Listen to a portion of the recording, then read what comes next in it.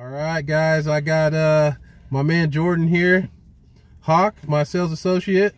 Um, he helped us put the deal together. Um, Jordan, man, had a Mustang. He purchased with me. Yep. Uh, this will be the second vehicle. Um, we were able to get him into uh, a real nice 2015 uh, Taurus today. Um, what? Uh, how did you feel the, service was working with us, Big It's Dog? amazing. That's why I came back to you. Nice. Um, what? Uh, what would you say one thing was that you loved about working with us here?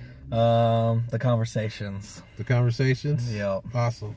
Just keeping it real. Yep. No BS. Exactly. All right, man. That's what we do. We keep it real. We try to make it as easy as possible.